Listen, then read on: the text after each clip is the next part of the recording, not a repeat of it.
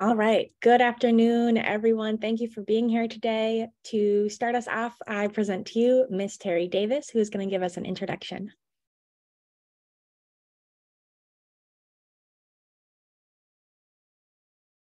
Oh, Terry, I think you're still on mute.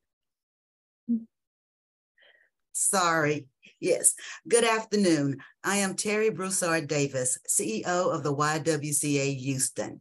Welcome to YWCA Houston's second annual Why Women Started Up pitch competition.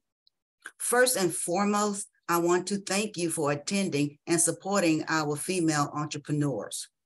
Thank you, Mercury Group Foundation, for your efforts to make the program for female entrepreneurs successful. The support you provided and the resources you helped us access has given more women the opportunity to set up their own businesses. You really went above and beyond to make this possible. And thank you, YWCA USA, for your support and trust in a growing program that supports women of color pursuing entrepreneurship. And a little bit about the program.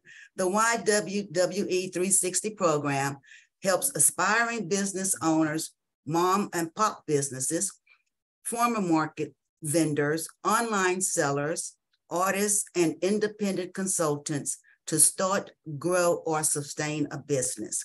The eight week program is designed to help women of color overcome barriers in entrepreneurship and provide them with the knowledge, tools, and confidence to be successful business owners.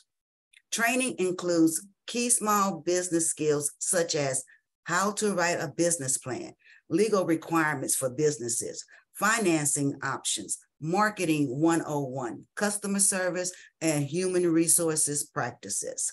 The program also provides mentoring and coaching for budding business owners. At this time, I would now like to introduce our judges panels. These three individuals volunteer their time to support our female entrepreneurs this afternoon. We have Katrina Chambers, multicultural banking leader for Truist Bank, Houston's Councilwoman Dr. Carolyn Evans Shabazz, and Preeta Patel, regional head of the Mercury Foundation. Thank you, judges, for your time and support. We have five brilliant women competing to win part of $30,000. First place is 15,000, second place is 10,000, and third place is 5,000 to launch and grow their business. All right. Are you all ready to get started? I can't wait to hear these amazing pitches. Good luck to our participants. Ashley?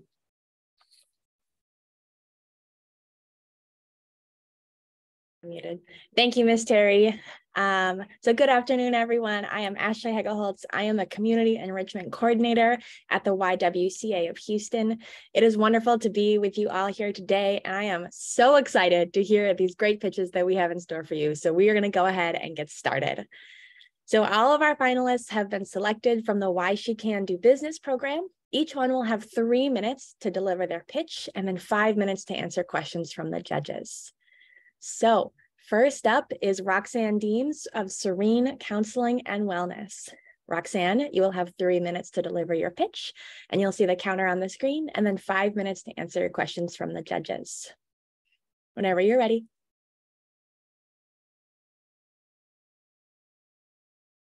Hello, I'm Roxanne Deems, licensed professional counselor supervisor, 500 hours certified yoga instructor, and founder of Serene Counseling and Wellness where we help little people make big emotional moves by incorporating play, yogic movement, and mindfulness activities into our therapy sessions, allowing us to get to the root of their problem and provide solutions to presenting symptoms.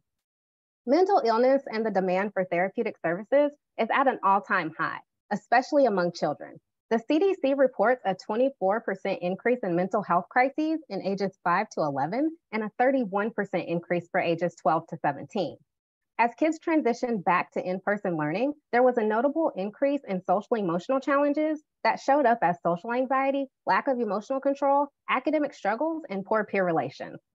Much of our competition, other practices in our area, and tech companies like Talkspace and BetterHelp primarily offer virtual services that consist of a more traditional talk therapy. Agencies that are offering in-person sessions have limited in-person spots, very long waits for initial appointments, and generally only offer, offer sessions Monday through Friday, 8 to 5, causing children to have to miss school.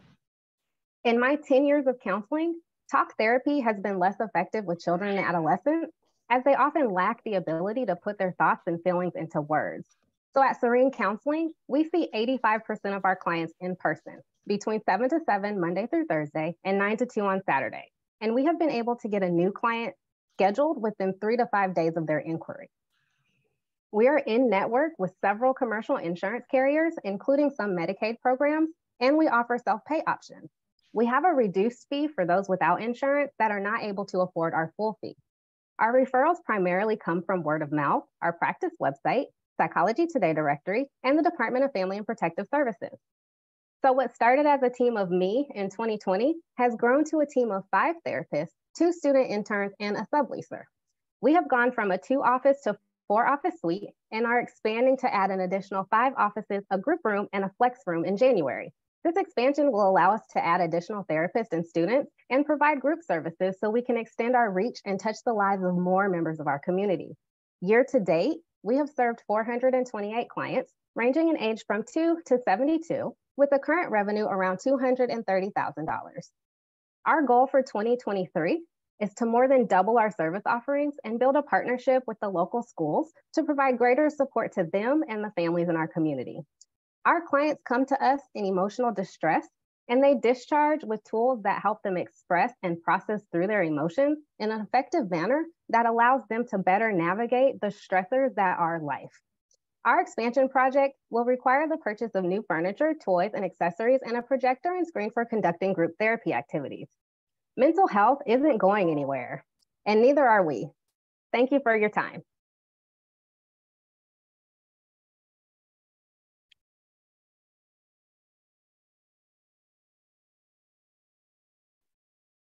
Thank you, Roxanne. We will now open it up to five minutes of questions from the judge, judges, excuse me.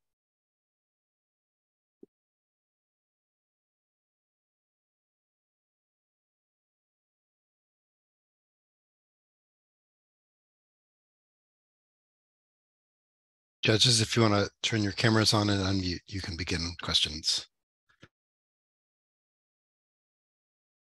So first of all, thank you, Roxanne. I think that you moved smoothly through what you wanted us to know about your business. And my question to you is, do you have any more um, content you can share around the way your, your clients are paying you? I noticed you're in network for some, you mm-hmm. also have reduced pay. Um, and um, could you just speak a bit more about that? Sure. We utilize insurance. So we collect insurance at the beginning of the session. Well, before they get started with their sessions, we submit claims through our, our health record system. And from there, we collect copays if needed. For those that don't have insurance and still want to utilize our services, we do offer a fee worksheet so we do their fee based on their level of income. And just a, a one follow up to that. And do you have a mix of what percentage of your current clients, because you've been in business a while and that's great, are paying you through insurance or through the private pay means? I would say 80% of our clients utilize their insurance. Great. Thank you. Thank you so much.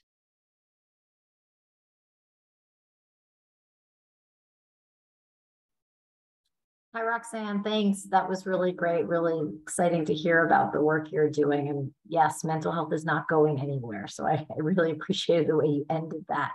Um, two questions for you. One, and I hope I didn't mishear, did you say that your clients age from range from two to 72, like such a broad age range?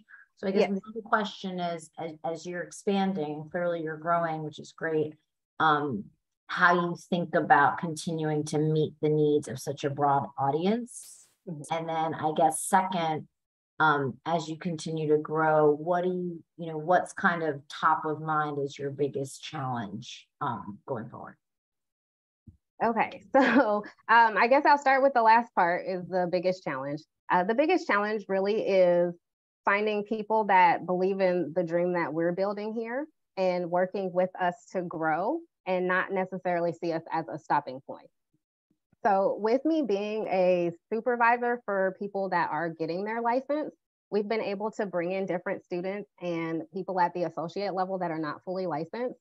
And part of their learning is to go across the lifespan. So, while our primary focus is on kids, to get that overall approach and to meet the entire need of the family from early on into adulthood and after, then we do have training for them as well to meet those needs. That's helpful. Thank you.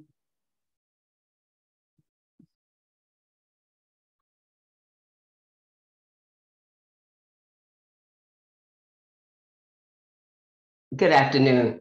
Um, I um, got in a little late, so I really didn't want to ask you a question. Had some technical difficulties, but I, I just just to give you a word of encouragement. I believe that your presentation uh, was very good. I also have a psychology background myself, and so certainly I understand the challenges as well as um, an educational background. I'm currently council member now, but you know, education was my uh, my my uh, I guess my job when I was growing up. Mm-hmm. And now that I'm grown, I've moved to a whole place. But thank you for uh, a wonderful presentation. Thank you. You know, could I get one final question in? And I don't want to be um, grilling you, but one of the things that I want to consider is a discussion of how you compare to your competitors mm-hmm. because your approach has a, a, nuance. And I think you said yoga, correct? Correct. So, um, have you done any studies to see how your approach matches or differentiates, or do you have like a value statement for why your your approach is different and better? So, what our approach does is it creates a more comfortable environment. So we're not the traditional, I mean, I do have a couch, as you can see, but instead of just sitting on the couch, we add movement because once we add movement to what we do, it helps to loosen up everything else so you're more comfortable and you're able to better open up and connect and get things out that you may not have gotten out just sitting on the couch. Thank you so much. Wonderful. Well, thank you so much, Roxanne. Um, our next finalist is Alexis Evans of the Wellness Jan. Jawn, excuse me, the Wellness Jawn, Alexis Evans of the Wellness Jawn. Alexis, you will have three minutes to pitch and then five minutes to answer judges' questions.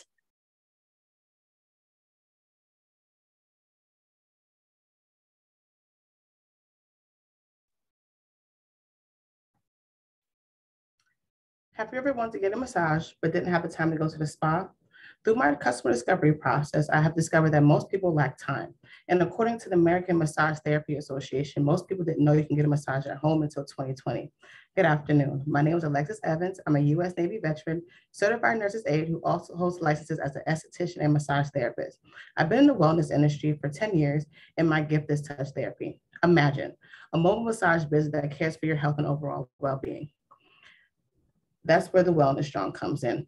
We offer convenient massages that help people relax, but also help you rehabilitate from injuries, find help from chronic pain and illnesses. We all deserve to get what we need without having to disrupt our schedule or, or routine. The Wellness Strong's mission is to serve people by offering convenient ways of healing themselves by having massage on demand. So what does Jawn mean? It's a Philly area term for any person, place, or thing. I'm the Wellness Jawn. Get it? So let's move on to why people will want to get a massage at home where they're most comfortable.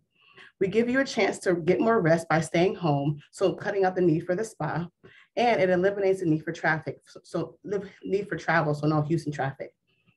We offer a range of massages, including relaxation, deep tissue, and prenatal. The Wellness Jawn has done a complete transformation since the last time I was here. We now also chair massages at private events, health fairs, and networking events.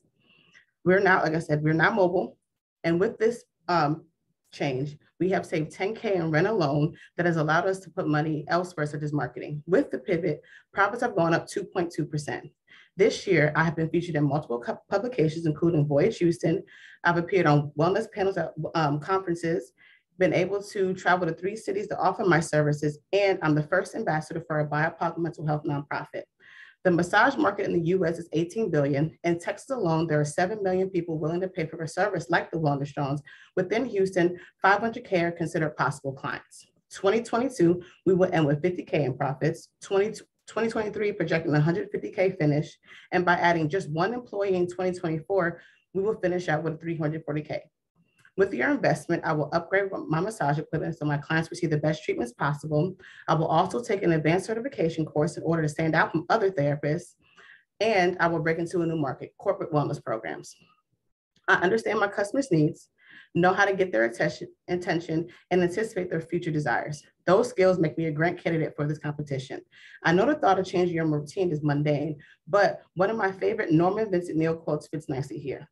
Learn to relax. Your body is precious as it houses your mind and spirit. Inner peace begins with a relaxed body. In the long run, this switch will save you a lot of time and stress. So schedule a consultation at the THA Wellness Jawn, J-A-W-N dot and let us come to your safe space to provide you with unmatched massage experience. Thank you.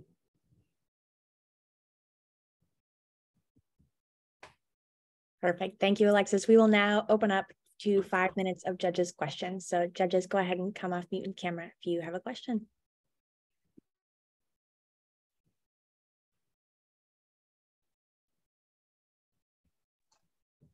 All right, it's me, number one. Thank you, Alexis. And I love your business. I can attest to the fact that this is a need.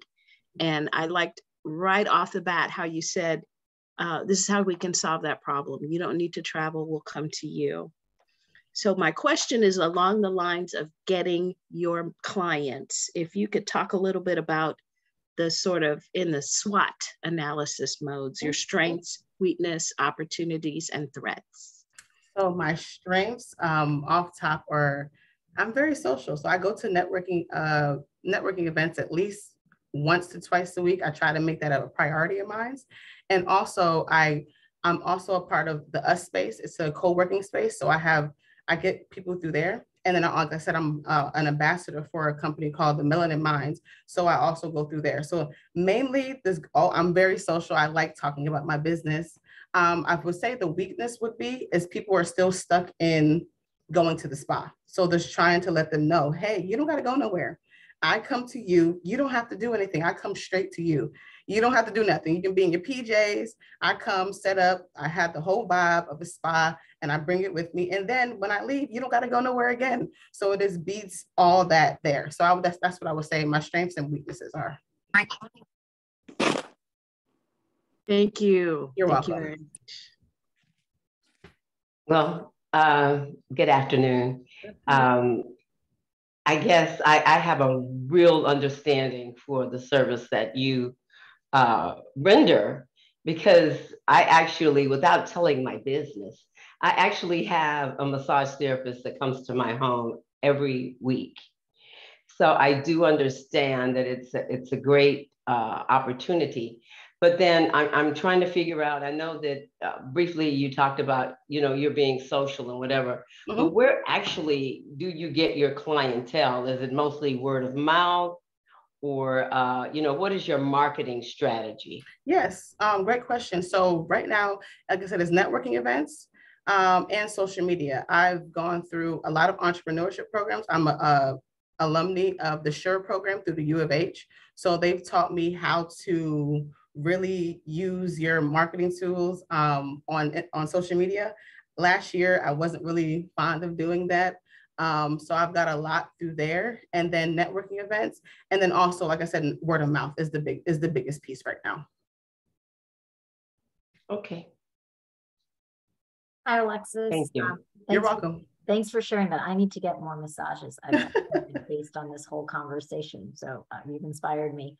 Um, my question for you is how do you think about going forward what the growth of your uh, looks like. Like right now is, and I apologize if I misunderstood. Right now, you are Correct. the primary individual Correct. massages. So how do you think about that? And and when you when you give thought to that, like you know, just kind of where where does your head go? How do you envision growing what you're doing today as a service to people? Right. Um, great question. So next year, um, I'm stick with my mobile massages, stick with the events. I do an event um, every Saturday. And then, like I said, I want to break into the corporate wellness. So when I worked at Dun and Bradstreet, like I said, I'm from Bethlehem, Pennsylvania, so the headquarters is there. So I when I worked at Dun and Bradstreet, there was a massage therapist that came once a week. And I was like, huh, this is pretty cool. And now that I'm in the industry myself, I was like, um, I have to figure out a way to break into that. So quarter two, um, I plan on at least getting one contract with that. And then 2020, the end of 2023, beginning of 2024, I want to hire on an independent contractor. And that's how I'll be able to double my income. And then going from years from there, figuring out how to get other independent contractors on the same board. So I'm not constantly working, you know, because that's that, you know, as a business owner, you you eventually want to just run the business. Great, thank you. You're welcome.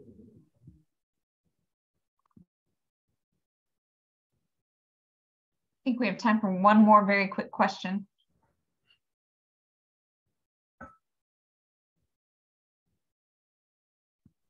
I had one more question. I'm curious when you think about your clientele, because you mentioned um, prenatal massages, I'm wondering, do you see what is there a clear split in what not specific massages? Like, are you seeing more prenatal? Because I could imagine, I have three children of my own, during that phase of my life, uh, leaving the house was not always ideal. So I could imagine. So I'm just curious if you're seeing Right. anything in Um, so it's a range. Great question, but like I said, it's a range of a clientele that I have. Um, some people are just getting to relax, so they work from home. Um, I have some had had some prenatal clients, and I do have a couple clients who are um, disabled and not able to get on the table. So I bring my chair to them. Um, so it's just a, it's really a range of people who are basically don't want to leave the comfort of their home to get a massage um, but they still have the need, you know, like I said, from relaxation to rehabilitation to illnesses to finding relief from chronic pain. That's great. Thank you. Thank you. Awesome. Well, thank you, Alexis, and great job on your pitch. Thank you so much. All right, our third contestant is Crystal Maxwell of Beautiful Influence. Crystal, you will have three minutes to deliver your pitch to the judges and then five minutes to answer any questions that the judges have for you. You can go ahead and get started. All right. Okay. My name is Crystal E. Maxwell, and I identify as a serial entrepreneur. I am a licensed professional counselor intern, as well as I have two other successful businesses, which is a catering company and a talent acquisition company. Before the age of 40, I've been able to achieve a master's on property, several investments in stocks and bonds, and traveled internationally based off of my skills and networking. I am the executive producer, I mean, producer, executive director of Beautiful Influence. I have partnered with other passionate community members and educators, just like myself, successfully launched the Early Entrepreneur Program. The program is active, is actively running with participants in Harris, Fort Bend, and Jefferson County. At the Early Entrepreneur Program, we give organizations and individuals the courses, content, and tools to help the youth become leaders, creators, and entrepreneurs.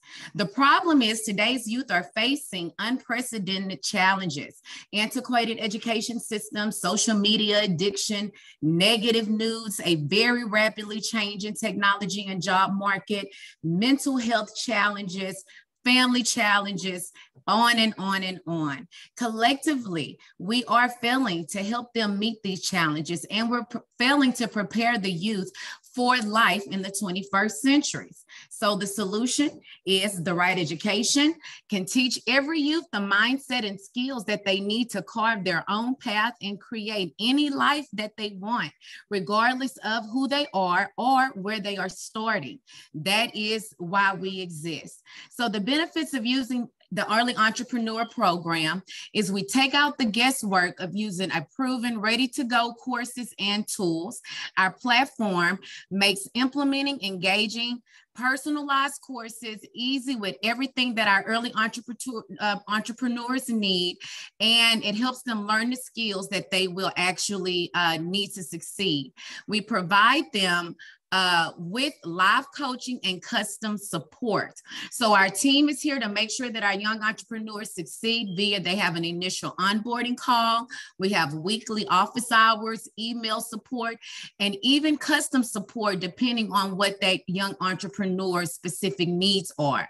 And then we generate results with our unique approach to content and learning. So everything we teach has already been tested by our team, by myself, validated through other forms of research from youth all over the country. So instead of hoping they learn skills indirectly through our classes, the youth learn these critical skills directly, and then they can apply them to their own goals. And that is it. Thank you, Crystal. And we will now open it up to questions from the judges, and you'll have five minutes to answer those questions. Crystal, thank you. I, I was taking lots of notes as I listened to what you were explaining and sounds amazing. And the counties that you chose um, definitely must be having some growth. What, uh, two questions from me are where do you find the students that you're serving? Like, is it referrals? And also, um, what customization is available for the content? Okay. So the first question was about where do we find the clients? And yes, heavy on the referrals. But to be honest with you, because of my community involvement and the partners that are also involved in the program, we are talking retired uh, teachers, uh, community nonprofit um, organization uh, leaders, political leaders. Um, they have been integral as far as getting the word out. And there is such a need right now for the school districts in particular to find uh, different types of programming, um, thinking outside of the box. They have been I mean, uh, that's why uh, that's, you know, really uh, that's a large part of why I'm requesting the funding is because I would like to really solidify this curriculum um, because that is to me where I'm finding where I have more of the income potential versus putting the actual um, the actual fiscal part of it on the student or their parents, so to speak, because many of the students that we do serve are in underserved um, uh, communities. So this way, we sell in the curriculum to the school districts, to organizations that are wanting to also do that. And um, that's the way that I would hope to be sustainable. You also asked one more question. You asked about the customization. And for instance, I'll give you a brief brief uh, of some of our successful entrepreneurs. One entrepreneur, she's 12, she's in a, she does event planning and fundraising. So her things that she's going to be asking for, seeking are going to be different than my 16 year old who is a junior chef who is currently in culinary arts. He's asking for things that are based off of, you know, restaurant or co- working in a in the commercial restaurant environment. So it varies on that young entrepreneur and what path they choose. Very impressive. Thank you so much. Oh, thank you. Thank you.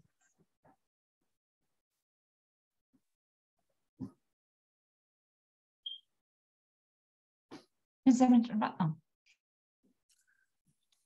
I'm sorry, go ahead.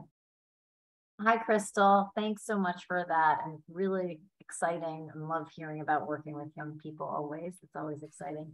Um, I'm curious, working with young people also has its challenges. So I'm curious to hear a little bit about how you respond to that element of just, you know, that age demographic can be a little bit challenging. You know, one day they want to do this, the next they want to do something else.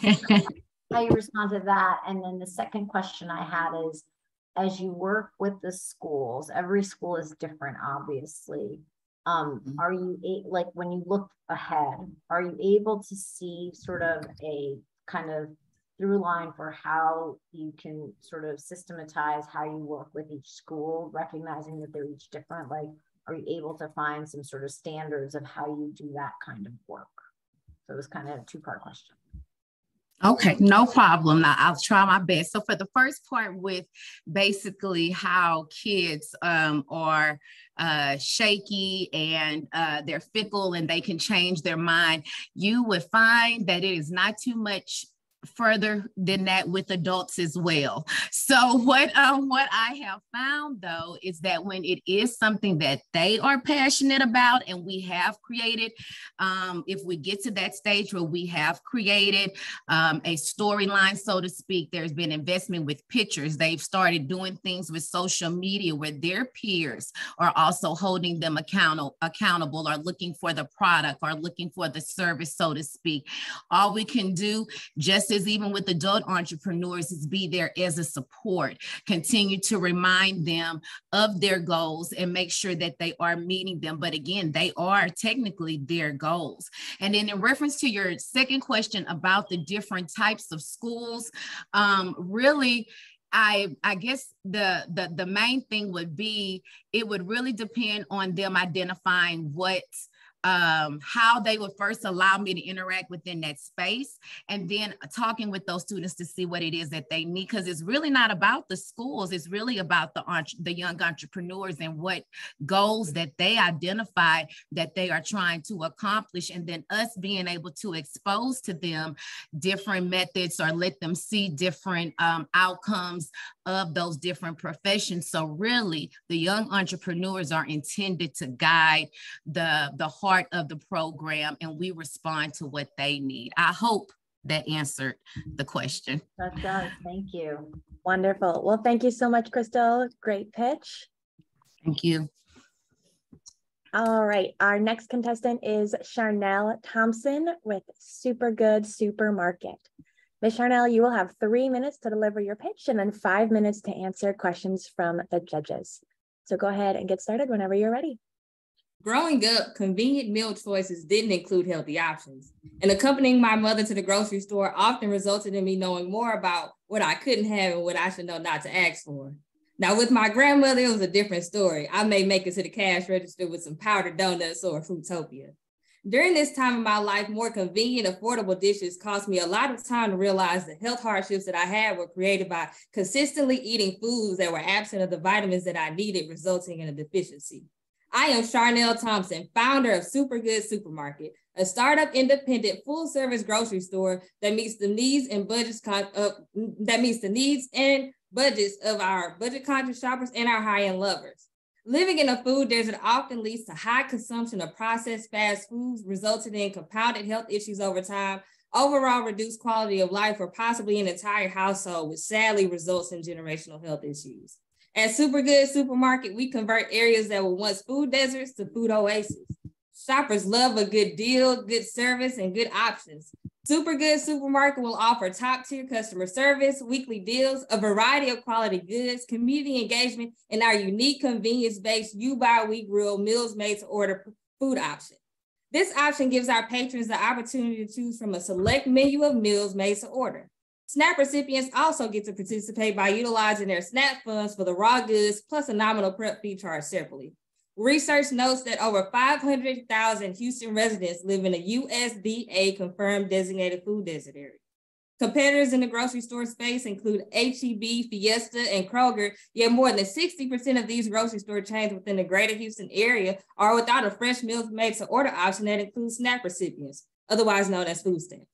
At Super Good Supermarket, we will pride ourselves on having fresh food departments such as meat, seafood, produce, bakery, and deli, along with customary total grocery and personal care departments. We aim to accommodate shoppers across generations by offering traditional in-store shopping, online shopping, home delivery service, and pre-order grocery store pickup. With a team of advisors that has over a decade of combined experience in grocery store operations and business, we have a proven business model that allows us to service any socioeconomic family type without taking the profit loss of servicing lower median income shoppers.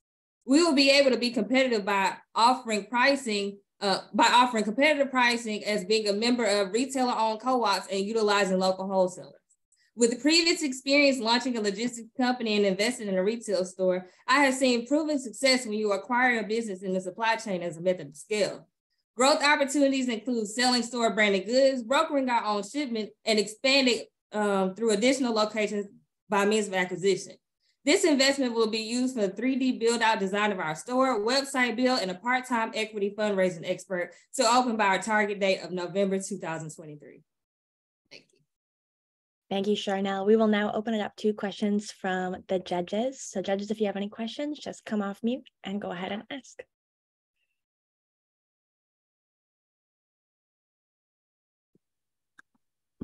Hi, Charnel. Um, Katrina, did you want to go? I know you. You know what? I didn't raise my hand, but let's let you start and I'll go next. Okay, absolutely. Um, Charnel, thank you. That was that was fantastic. Um, you, you, definitely hit on something near and dear to my heart when it comes to um, healthy eating and food um, and, and the connection to health.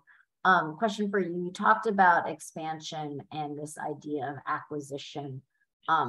Where are you, I guess, today in terms of a physical location and having that secured and operating? It sounds like you are. And then how are you thinking about when you talk about acquisition? Have you already been able to consider where, what those other food deserts are and like how you think about that? We'd just love to hear a little bit more about the expansion plan. Of course. So right now we're in the inception phase. So I have located two possible locations. However, there's going to be a nine month plan to identify investors, recruit um, equity fundraising dollars, hire a store manager, and then uh, begin the recruitment phase of uh, hiring 30 to 50 employees because we're looking at possibly having a space between 15,000 and 22,000 uh, square feet. Um, and then what was the second question uh, that you asked? Uh, uh oh, acquisition. expansion and acquisition, how you're thinking. right. So right now it's a perfect time. Um, a lot of Walgreens are closing, a lot of food towns are closing, not food towns, um, uh, Dollar Generals, and those uh, space sizes have hold the space that we're looking to acquire. And the SBA has a 7A program that allows you to only have 10% of the purchase price of an existing company. So we're in a great opportunity right now with the market the way that it's looking, and also with people having this newfound interest and appreciation for grocery stores as a um, essential business due to the uh, COVID um, pandemic. Absolutely, absolutely. Thank you, Charnel. Great. Yes, thank you. I'm gonna pull my hand down. And with regard to um, kind of a SWOT thought process, if you could think of the markets that you want to enter and then who's currently there. Can you kind of talk to me about some strengths and weaknesses and opportunities that your brand will have to win the clients in those markets? Of course. So strengths include um, recruiting investors that will be of the community. Oftentimes we hear about a new business that comes up and a lot of us, at least my peers are like, oh, I wish I would have been able to invest in that. So not only will we be providing healthy food options, but also the increase in everybody's socioeconomic makeup. And when you have more people on, on board that's a part of your team, they tend to be more invested in the success of the overall um, um, vision of the business. Um, weaknesses would be that it will be a new store in the grocery store space. Um, however, I don't find that new is oftentimes less than or not having the um, quality that other stores have. So that's what I would say our strengths are strategy, really galvanizing the community and allowing others to be partners within the store's uh, vision. Thank you. I don't see where to raise my hand. I've been looking. Uh, but anyway, uh, I, I, really, really like uh, that you're not a food desert, you're a food oasis. I, I think that's very, very uh, unique and creative. And being a, a, council member, I constantly hear that we have food deserts. And so uh, for you to offer this service is fantastic. Now, I, I'm assuming you're a brick and mortar building. You're not a delivery establishment. You have an actual physical building. Right. We're at inception now. So we will be acquiring a physical location. So this okay. will be a complete startup um, on taking, uh, if that answers your question. But yes, it will be okay. a brick and mortar location and we will offer um, in-store um, pickup, traditional shopping, delivery, online shopping, the, the whole gamut. Okay, and so how do you think you could fare competitively with the HEBs and the uh, Kroger's and all of those big food store chains? Of course. So we will still be able to offer competitive pricing um, as far as being able to com- um, compete with pricing. And then also location, we will be in a food desert. So there wouldn't be any other competing stores within the, uh, the specific range of where the store is. And then also we're going to invest in our employees because what you know is when you go somewhere and you feel welcome, you tend to want to come back. So the the environment, the experience, and the quality of products we have is how we'll be able to compete in this um, grocery store space. Great answer. Thank you. Awesome. Thank you so much, Charnel, and a wonderful pitch. So our last contestant for us today is Miss Tiara Tramble from Your Emotional Budget Planner. Tiara, you will have three minutes to deliver your pitch and then five minutes to answer questions from the judge. So whenever you're ready. Mental health is one thing that no one is exempt from. There are many reasons that mental health issues occur, but by combating mental health barriers through the use of emotional intelligence as a supporting strategy, we can begin to balance our emotional banks. Um, today is currently a mental, emotional, and behavioral crisis for children in our country. One in six youth are diagnosed with a mental health condition, but only half receive any mental health services. Untreated or inadequately treated mental illnesses can significantly interfere with a student's functioning at home, school, and the community. Hi, my name is Tiara Tramble, the founder and visionary of Your Emotional Budget Planner. I am a licensed professional counselor associate specializing in high acuity care for youth and disabilities counseling. Your Emotional Budget Planner is an eight week research based approach where we provide an emotion literacy course to adolescents and youth in the fourth through 12th grade classroom setting. Through our customized prevention and intervention course, regulation skills and strategies are used in order to build and sustain emotional checks and balances. Children will benefit from this course by supporting positive youth behavioral health by decreasing the need for higher levels of care. Through the child's ability to understand and regulate their emotions, we implement aids to build their investment portfolios. An emotionally wealthy child makes investments through deposits. This can be obtained through the program's weekly themes. Some examples include understanding the emotions they are experiencing through self awareness, positive self talk through reframing and goal setting, and reflective practices by way of mindfulness. By utilizing this program, it provides a natural setting for mental health services and targets problems without a mental health diagnosis by reducing the stigma related to behavioral health care. The cost per co- the cost per cohort is $1,600. That's divided by the grade levels, and $19 for the individual purchases of the student's interactive planner. Requested student response, sponsorship and assistance are also available. Each student shall have the opportunity to receive interactive workbooks comprised of journal prompts, affirmations, and daily emotion balance trackers.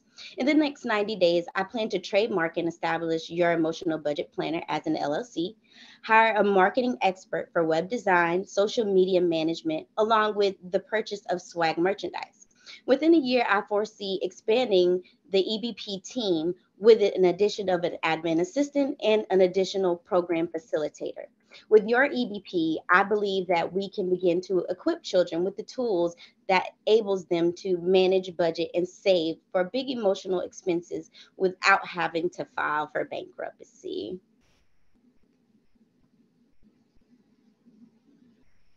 Thank you, Tiara. I will now open it up to judges' questions. Um, go ahead. And the rabbit has raised her hand. Tiara, thank you so much. I, I love the fact that you're very systematic and, and deliberate in explaining the business to me, and I have a really good understanding of it. There was one question that I, I wanted to ask. Mm-hmm. Sounds like it's going to be in person, one on one. have you considered expanding your delivery uh, to gamify or do anything else to connect with your students? Yes, absolutely. So um, the ultimate goal is to be able to provide like a, a group service. So this could be, like I said, through um, grade levels. So it could be like the third grade would receive this service through um, uh, through the themes of the week. So the third grade, the fourth grade, fifth grade, and so on beyond, this group will be able to receive the services as as a total, as a whole. If they're um, if a student needs individual, then that's where we also will provide like a Saturday service where if a parent doesn't feel comfortable for the student to be able to participate in school, they'll be able to participate on the weekends or uh, if the program is not in that certain school district. Got it. Thank you. Hi, Tiara. Quick question, um, and I apologize if I missed this. How do is this an opt-in program for the students, or is it referred through the teachers, or how do you actually determine which students participate? Um, so yes, I think that um, by providing like an opt-in service, uh, the schools will be able to send out um, notifications to the home. And if the parents would like for their student to participate in this program, then that program will be awarded to the student. And if they opt out, then we can't force, um, you know. And so um, for the students to be able to have that option, um, but emotion literacy, I'm it's one of those things like financial literacy that we wish that we would have known maybe earlier in life and maybe we could have um, avoided some of the um, nuances that we experience. 100% 100% thank you. You're welcome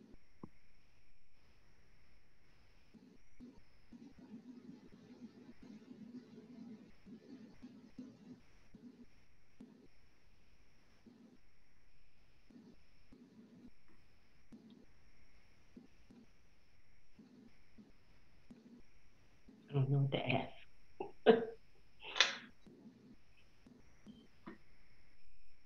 Councilwoman, would we like, would you like a few moments and we'll open it up to another question from the other judges?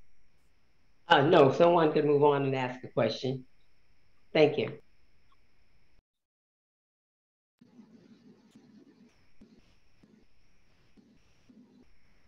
Katrina or Preetha, any other questions? Yes, I have one final question. Um, do you have a sort of proof of concept? Have you an example to share, sort of the metrics of how the program has worked for one of your cohorts?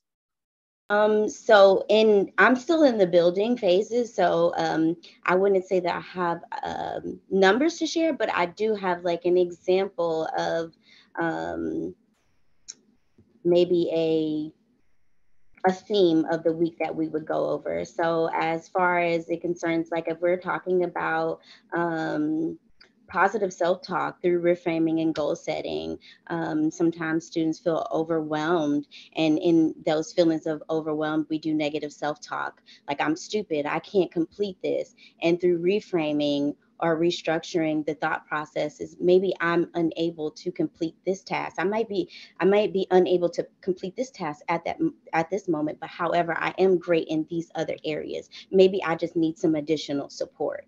So um, working on the reframing and also doing an activity surrounding reframing would be one of the activities that we implement in the theme of that week.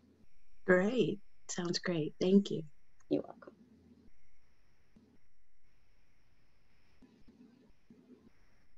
All right, I think we have time for one more question.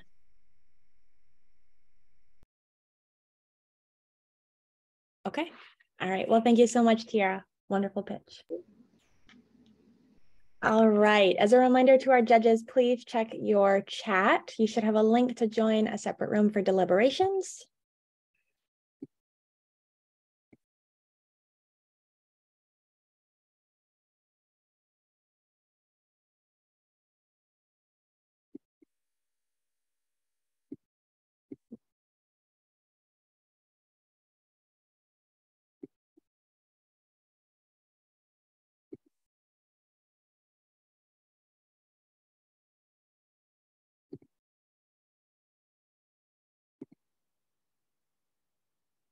All right.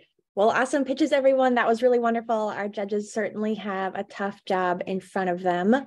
So while they move on to the deliberation portion of the competition, we have here with us three former pitch competition winners who have volunteered their time to have a discussion with us today about their journey, insight, and sort of what the entrepreneurship space looks like for women right now.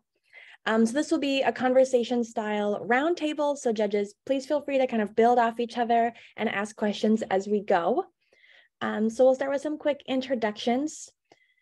So first we have Malika James. Malika is the founder and CEO of Nurturing Seeds Doula LLC, providing full circle doula services for women and families through the pregnancy, labor, and postpartum periods. As a doula and mother, Malika supports and advocates for equity in medical care in order to combat the disproportional disparities in infant and maternal health. Welcome, Malika, and thank you for being here today. Thank you. Yeah. Next up, we have Cecily Fullylove. Please meet Miss Cecily Fullylove, a childbirth educator, sonographer, doula, and founder of Fullylove Pregnancy Center. Miss Fullylove became a business owner in the maternal industry because of her strong passion for maternal health and wanting to make a difference for mothers of color. She prides herself and her business in delivering the highest quality maternal care and shifting the paradigm in the maternal industry. Thank you so much, Cecily, for being here and welcome. Thank you. And last but certainly not least, we have Coach Laurel Woods. Laurel Woods is passionate about using fitness as a tool to navigate transitions in life. She is a certified personal trainer and motivation coach with four years of experience. Fitness therapy training was born when Laurel noticed a gap between life desires and taking action. The benefits of weight training and motivation coaching combined is the perfect recipe to navigate through life confidently. Thank you so much, Laurel, and welcome. Thank you. Mm -hmm. All right, so we have some questions here prepared for our panelists. Um, however, feel free to ask each other questions, build off one another, um, and let's have some fun. So um, all three of you have completed the WE 360 program. So I'm just curious and kind of talk to us about what has been your entrepreneurship journey and how did this program support you in that? Um, I guess I'll go ahead and kick this off. Um, I always laugh when I tell someone that I joined this uh, program because when it came to me, I was sitting on my couch, lounging, lost in the business world and what I wanted to do with my business. Um, and so I guess I'll, I'll, take it back to when I got started. I got started in 2020. Um, of course, when COVID happened, um, I was working at Lifetime. And um, I just remember getting that call saying, don't come back in. And so I thought I was going to come back in um, within a month. And then they kept, they kept telling us, you know, you're not coming back in until we just don't know. And so it hit me. I'm like, you know, I could do personal training on my own because that's what I was doing currently in the gym anyways. We were talking with the, the gym members. And so um, I started Body by Low at the time. It wasn't fitness therapy, it was Body by Low, and I was doing one on one coaching. Um, and then it wasn't until my girlfriend, Felicia, who also participated in this program with me, um, sent me an email saying, apply to this. And I'm like, you know what? What an opportunity. I need some extra help to one, get clear on what it is that I'm trying to do, and then also just an opportunity to learn and grow. Um, and so this program has supported me in many ways. I rant and rave about this program all the time um, because it helped me get clear. And that's when I became fitness therapy training. Um, and I realized what set me apart from other fitness trainers. And if it wasn't for this program, I mean, I don't know where I'd be. So um, this program is has been amazing. And I'm sure these ladies can say the same. Yes, I definitely could say the same um, just to have a community full of women and like-minded women. Um, that was actually my goal um, last year is to kind of join with like-minded women who were kind of business-minded, business-oriented, and had goals and wanted to create. And so uh, Felicia, she was a part of this program, and Nikki, I was just volunteering my time at a community baby shower um, for YWCA, and they came across. They was like, "You're an entrepreneur." I'm like, "Yeah." They was like, "Well, you." Definitely need to get a part of this program. Um, and so I got a part of the program and it was just, it was just amazing. Even with Laurel, you know, she's always there with her music, jamming, helping us with the sessions and teaching us how to market and do things different, creating strategy. So it was exactly what I needed, um, what I needed and kind of definitely structured me into a better um, businesswoman. And I kind of came into uh, business, kind of similar to you as well. The pandemic hit. And so my job actually, they promoted me because they needed, I'm in healthcare, sonographer um, is my trade. So they actually promoted me, gave me a big raise. Um, and then, like, I guess once like things started to um, like calm down, they tried to demote me. And so I was very, very frustrated. I was frustrated. I'm like, no, this can't be happening. And so I just felt like I didn't have any choice. I had already created my LLC. Um, I already had this strong passion for maternal health, and it was, you know, women dying of color in the birth world. And I'm like, okay, it's time for me to step up to the plate. I don't know how I'm gonna do it, but it's either sink or swim. And God, please let me swim. so um, yeah, I just stepped out on there on faith, and things just start to come along with me on my journey, which I'm so grateful for the program and for the people who have who has came in my life, um, great mentors um, during this time, and yeah, it's it's just been it's been it's been a journey. it's still a journey. Yeah, so I want to copy and paste everything that both of you all said about um, just the opportunity to work with like-minded women. And it's interesting because I'm in Ohio and I was able to connect with um, Laurel um, in uh, the pitch competition that we actually did last year, and we connected, exchanged contact, and kept up with each other.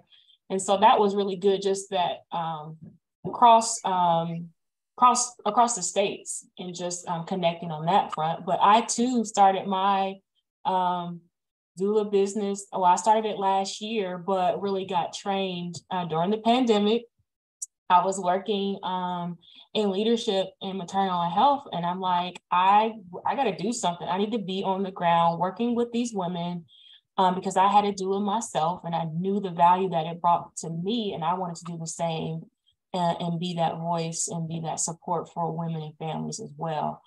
Um, and so, yeah, the program was awesome. Going through the different modules um, was very eye opening for me um, but also the opportunity to have a coach and someone to really check in on you uh, all the time. Uh, ours was Taylor Curtis. She is amazing.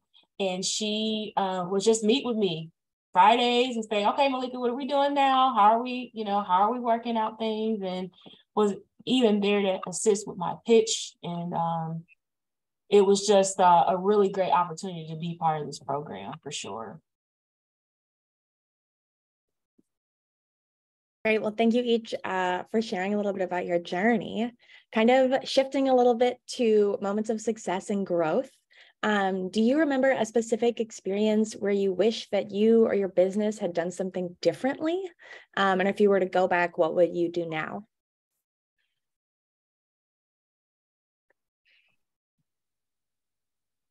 I guess I can start with that one. Um, so business is all about making mistakes. Life is about making mistakes and learn from them learning from them. Um, so i'm grateful for every mistake that i've made in business and the mistakes that i'm going to make um, upcoming in business. But like looking back at things i definitely wish i would have found this program right when I created that LLC, right when, you know, I had the business idea because it would have saved some stress for me. Um, moments of tears. uh, yeah, it would have saved all of that just to have that structure um, that the program kind of provided and breaking down um, like the why you're doing this and like the pitch and everything. I definitely wish I would have had like a program and a group of women before I even started branching out, thinking um, of creating my business. So um, I think that these ladies are in within the idea phases um, are in a great start uh, to you know have this structure and have this program to kind of navigate a little bit better because you make a lot of mistakes when you don't know what you're doing so having a guide and a mentor to kind of help you through the process um, is super beneficial and i wish i would have had that kind of coming into uh, business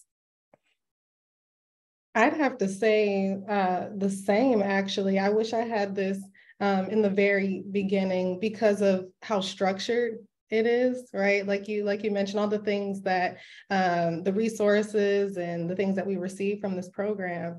Um, i definitely wish i had this early on um, and because this program helped me get clear on my lane i like to call it and what sets me apart from other um, fitness trainers uh, if i had that in the beginning it would have saved me uh, I, I feel like I would have gain traction quicker um, instead of kind of bumping my head. It, this program saves you from bumping your head. Like she's, you're going to make mistakes, but because it's structured and because it's so supportive, um, it, it just kind of saves a, a, lot of the nuances that we do go through um, when we're starting a business.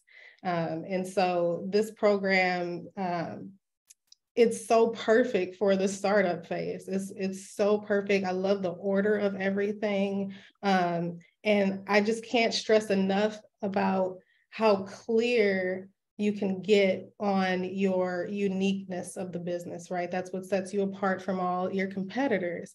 Um, and if if we can get that clear in the beginning, of our journey, um, we can we can save ourselves a little bit of headache, heartache, and tears and sweat and no blood. But yeah, I agree. I think for me, um, luckily I was like really in the beginning phase when I started um, WE360. I had the idea concept, and I, you know, I went ahead and just got my LLC. I'm like, I'm going ahead and do it, um, but really took some time to build. Um, and I wish I would have took even more time to just carve out everything that I was thinking in my head because I'm coming up with new things all the time. And I'm like, okay, maybe I should do this, maybe I should do that. Um, but just really spending additional time with all the things that I'm trying to do, um, just the plan, that planning phase is key. And I know folks are, you know, super excited just to start and go and oh, I can save the world and do all of this, but you really need to have that clear cut plan and where are you going to be going in the next two to five, two to three, two to whatever years, um, and planning ahead and building in some time for um, some things to go not the way that you want to go. So just to share, last year um, was when I started my business. Last year was also uh, with my mother. She passed away, and then um, found out I was pregnant all in the same year. And so we're like, okay, maybe I need to take a moment and and uh, just give myself some self care and uh, reevaluate and come back. And so building time for those moments where you have some downtime and you might need to regroup and being okay with that. And I totally agree. I, I, I totally agree with what you're saying, Malika. Just because um, I think like when you become in business, a lot of us try to rush the process, and so taking that time to kind to and like you said, building in that time because you, when life starts happening to you, you know, you it's like everything's kind of going out of control. You're trying to hold on and build this business, and then you kind of go insane a little bit, or you know, you don't feel yourself, and you don't feel like sometimes you can show up. Um, and so I totally agree with you, like building in that time and having grace with yourself during these periods because we're still human. We're still human and we're still going to go through life experiences and you can't predict what's going to happen. And mm-hmm. I, I, definitely had um, a similar situation that year and I just didn't expect any of any of what was coming. And so that definitely I felt like set me back, but it allowed me to reconnect with myself and get myself together so I can come out as a stronger um, business owner. So I definitely yes. agree with what you're saying there. I'd like to jump in and say I agree as well. And I love that you said um, being okay with it being okay with stepping back, taking a pause, reevaluating, seeing seeing uh, what you can do moving forward, just due to the situations that come about, you know, randomly. Um, hmm. I I was in business for a year before I switched my name, business model, all of my uniqueness, all of that stuff. I was in business for a year. And sometimes that could be a little nerve wracking because you're saying, okay, I've spent all this time building this. Um, and something, you know, rocks were thrown at me, whatever that may be. And then you're like, where do I go from here? And you can just be frustrated because you can feel like you failed a little bit. There's so many emotions and thoughts that come up in entrepreneurship, but being able to have that control and being able to breathe and say, it's okay to pause, it's okay to change. Um, I'm someone who loves change. My business is pretty much based around um, navigating the transitions in life through fitness and motivation um, coaching. And so I'm all about the changes. And, and really, what I stress to my clients is be okay with the changes be okay to just pause like literally be okay you know um, mm-hmm. and I, I just, I just think that's so important in entrepreneurship things happen right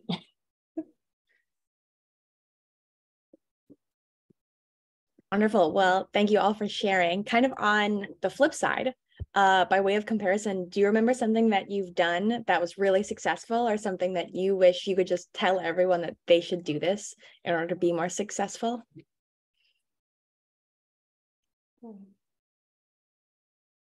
Um, I would say definitely connecting with other women and just opening your mouth about your business. Like I wish I could tell everyone about that. Like you don't know how many pregnant women I see a day. And like before, I used to be very timid and scared to say anything, but I'm like, okay, the moment, the more that I'm quiet and I don't speak up of this great business that I've built and this all the services that I have to offer, that's a one less person who is able to benefit from my business. So not being scared to speak mm-hmm. up about your business um, and talking about your business, family, friends, um, people in the grocery store every every everyone everyone. Um so that's definitely something this year that i have integrated. Um it's just talking and telling people about my business. I see a pregnant mom or just a woman in general um because a lot of women are going to become pregnant in their mm-hmm. lifetime. So just kind of telling what we have to offer um and maybe they can share it with a friend or share it with a you know a family member. But um that's definitely something that i'm i'm very happy about. It's just talking about my business and sharing and networking uh, with other people. Yes, I feel like we're going to be the I agree, I agree the whole time, but seriously, it's so hard to talk about yourself, right? Like I'm like this is just what I do, but opening your mouth to say what it is that you do and folks are like, "Yes, I need you." Um, I was at actually um, an event um, somewhere just randomly, and I saw one of my friends um, from uh, from high school, and I saw she was pregnant. I said, "Hey, girl, how you doing?" So you have a doula? She's like, "No, I've been meaning to get one." I'm like, "I'm a doula." She's like, "Are you serious?" And so instantly, she already knew me, and so right then and there, we were connected, and that's what you have to do. Just continue to talk to folks and everyone knows me in my community as okay she does something with the babies and moms like i need to get with her and so um, just putting yourself out there and being okay with that and just letting it fall through because you spent time building this business, you know what it is that you're doing, and uh, you want folks to um, receive the great things that you have to offer. So you have to open up your mouth to say what it is that you can provide them. So I agree with that. And of course, I'm going to agree. that's, that's all this is. I mean, I don't know what's going on here, but I'm just going to go ahead and piggyback off of that. Um, speaking about your business, one thing I like to stress or wish everyone knew is, you know, when you have the business idea uh, or, or, goal in mind um, of starting a business, um, there's usually some passion behind that somewhere, right? Um, you you're solving a problem, or there's something that you're really good at, or you you found a need need in a, in a market or community. Um, and behind that is some passion. And so with that passion, uh, getting clear on what makes you unique is something that I've learned a lot last year with within this program, um, your unique value proposition, what mm-hmm. truly sets you apart. And, and you know that. It's really about getting clear on it and how to how to voice that. But it's it's a part of you sharing your business with others. And so when you share, um, sometimes it's a lot of nerves and you're like, you know, um, am I sometimes we don't feel qualified. We might have that imposter mm. syndrome with our business. Mm-hmm. It's like, I know I'm needed, but am I qualified? But you are qualified. right? There's something about you, there's something about your business that sets you apart from everyone. I mean, we're all set apart from each other in some way, and we're all unique in some way. And so I'm pretty sure that business idea that you have, you know, is unique in some way. So I I wish everyone um, could really hone in and become confident and really um, mm. embrace their passion for their business. I, I, think the the passion behind it is what really draws us to our consumers. It draws us to you know uh, other entrepreneurs, and there's a connection that can be made because I mean, let's be honest, our consumers, you know, they either relate to our product or service or in some kind of way there's always that emotional attachment behind it so if you're able to um, evoke those emotions through your passion of your business and what makes you unique um, i think that is that sets the tone for me as an entrepreneur. So and I would just like to add, definitely um, you know, having a unique proposition to your business, but what makes your business unique is you. There's mm-hmm. literally no one in this world that is you. So there's no one that has your personality, your little quirks, or thinks how you does. Literally no one. So that is what's cool about, you know, being a business owner because you get to, you know, be kind of the driver of this and um, you know, you're what what you have to offer. So um definitely and I I I also like um, sometimes was timid um, when I met other people doing what I was doing, you know, and I didn't want to kind of speak because I'm like, okay, I've only been doing this for a year, like, or I'm new to this. Okay, maybe I shouldn't say anything, but it's just like those people could never be me and I would never want to be them. So that's what makes me different in my business. And that's what makes mm-hmm. them different in their business. So, you know, definitely I would like to just, you know, just add on to that. It's just like that's what makes your business unique is you is you. So being yes. standing on that and you know definitely being prideful in that that no one is like you and no one will ever be like you. Yes, I also wanted to add something quickly just about one thing that I wish everyone was doing. And I know it's a business, so sometimes, you know, yes, there's competition, but I feel like in the doula world, I don't feel like there's competition. To me, it's like there's there are moms here to serve. People like you mentioned people are going to be pregnant. How do we serve these families? And so there are other doulas in my community and we get together to talk about like yes. okay what's working for you? Um we um there's a a location where people uh, a lot of moms go to just to receive information and the doulas are there. And so we big up each other um, just to say, hey, do you know about X, Y, and Z? Because I can't serve everybody. Um, and so, how do I make sure that we are building this network of doulas within our community? Um, one of the things on a personal note is there was someone who was training to be a doula and she needed another birth. And I said, hey, come on, I can be the one that you uh, you can have as one of your uh, your births. And so she was phenomenal. And she also went through the WE360 program as well. And so we meet on a regular basis and we talk a lot about, um, again, what are some best practices? And she was there for my own birth. So I can talk about her when I'm in the community to say, that is my doula. She's the bomb. She is awesome. And I want y'all to utilize her if, like I said, I'm not going to be able to serve everyone. So there are other people that can um, do similar services as well. Yes. I definitely agree. And that's the last thing. It just not always thinking about competition, but how you can partner as well. Because, like she said, you cannot serve everyone. And so, in the maternal industry, we're definitely suffering a crisis. So, any doula that I run across, or, you know, anyone in my industry, I'm definitely, my first thing is not even competition. I'm, I'm, I'm trying to think of, okay, how can we get together and build a community to help these people? Because there's a lot of them. And, you know, there's only one me and only one you. So how can we, you know, get together and make this stronger and bigger? So I, I definitely piggyback with that.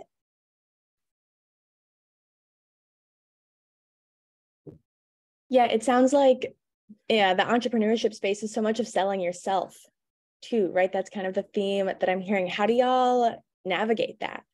How do you work through like trying to sell yourself while also not like stepping on the toes of other entrepreneurs in a similar space and still focusing on collaboration? Yeah, I would say it's just showing up as your authentic self.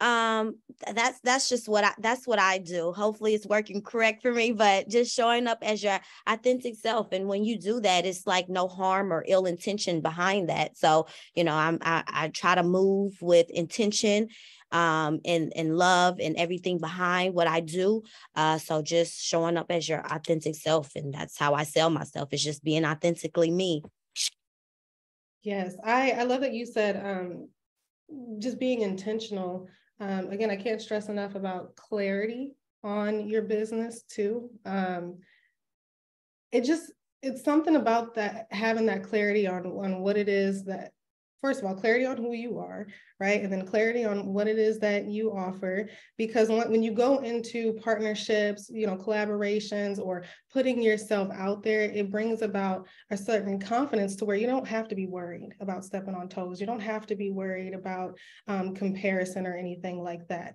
You are completely in the know. You are, um, everything is clear cut. You're able to go into um, rooms and spaces um, and and be able to connect with other people. So um, I, that's kind of what has worked for me. Um, I know one thing that a lot of entrepreneurs struggle with is social media, and we've seen the rise of a lot of businesses uh, within the last two years. And you know, one of the main streams of marketing is social media today, but it can seem oversaturated. There's so many fitness trainers, right? But because I am clear on what sets me apart um, from other trainers by really using fitness as a tool to navigate changes in life. There's that lane that people can connect to. So because I know that, I know who then to uh, collaborate with and who to bring on. You know, working with nutritionists, food is a big part. You know, of uh, health and and um, and fitness. And so just being clear cut on who you are, what it is that you do, being clear on everything that that I think there there won't be any toes stepped on.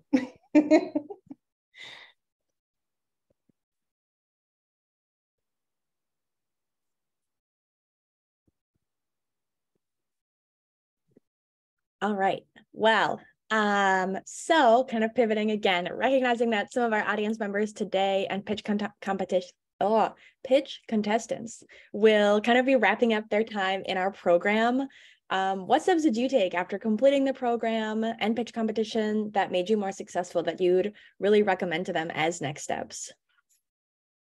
Um, one thing I focused on after everything was uh, my business model because I've learned so much.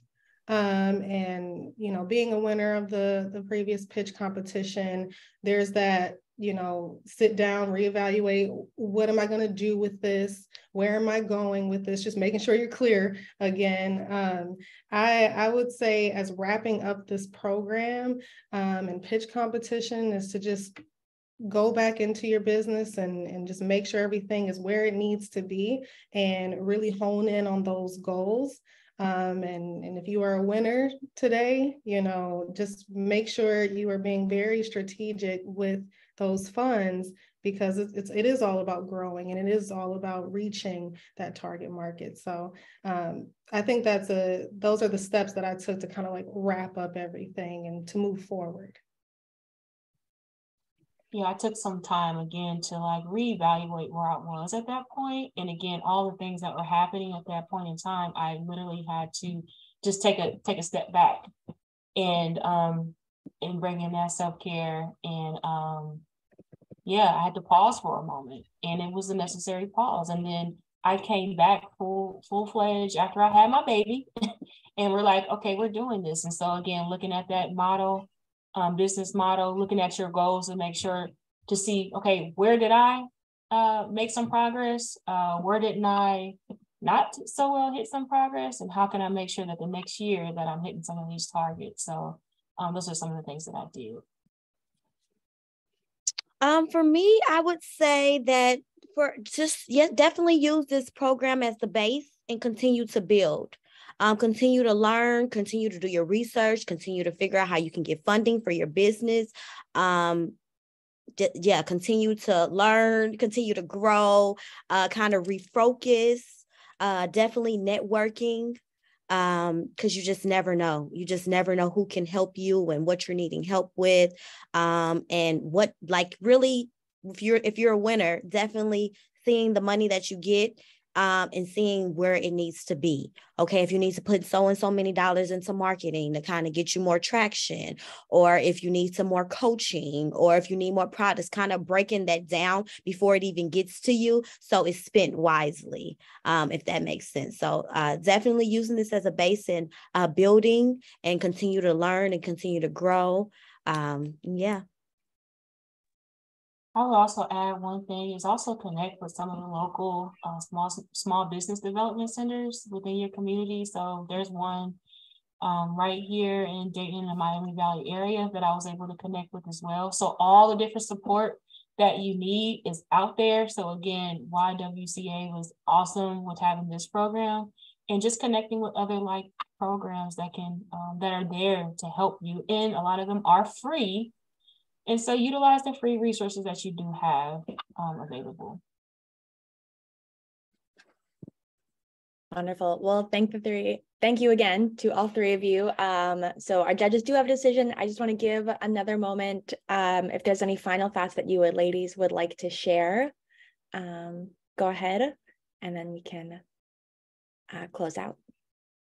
I just want to say congratulations to each and every one of you for making it this far into the pitch competition. I know I was in this space and I can just remember just shaking because I'm like, okay, I have this dream. We all have these dreams, and you know, you want people to believe in your dreams and what you're doing. And you know, no matter what the term turnout is, you know, you all ladies are winners, um, and you're doing a great job. And thank you for everything that you do. And we need you. Um, you know, it definitely takes different people for different things in different industries. So we need each and every one of you. So keep going, never give up um and yeah just just definitely encourage you know other women to do the same uh and that's what i that's all i i would like to say That was perfect. Everything Cecily said, everything. Congratulations to you, ladies. Um, and just remember how bold you are. This is really big. You know, just talking about your business is one thing, but it really is something major because it it takes about a, a, certain presence of you to be able to stand up in front of a crowd even though we're on zoom you stood up today. Um, and so take that with you and just remember how bold you are and use that as fuel as you continue to grow and learn um, and move your business forward. And like she said you are needed. And so just remember your why and what makes you unique and that there's no one else like you. And I mean, success will be on its way. So, congratulations to you all. You all did amazing today. And in the spirit of affirmations, I love how you all just affirm them. Um, just get your team together, like your outside team, to to pour back into you, uh, your friends, your parents, or whomever it is, just to give you that to be that cheerleader for you in those times where you feel like, what am I doing? Why am I doing this? No, you can do this, your services are needed, you have this, you are worthy, um, and just have that um, and, and just believe and know that you are here for a reason. And I'm going to preach the self-care talk. Take time for you. Um, when you need to take a moment, take that moment because you are no good to anyone else if you um, aren't good to yourself. So self-care is is the big portion. Wonderful. Well, thank thank you again for this. This has been great. Um, and with that, I'm going to hand it back over to Miss Terry Davis, who is going to let us know um, the results. Miss Terry?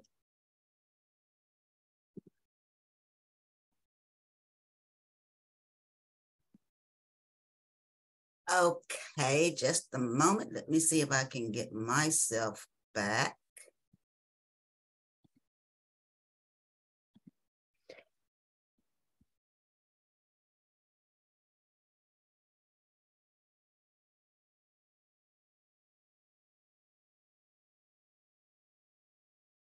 Okay, for some reason, I can't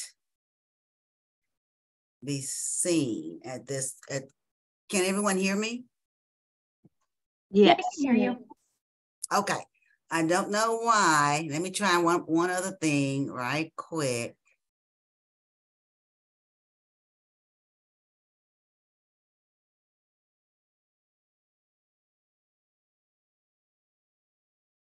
Now we can see you too.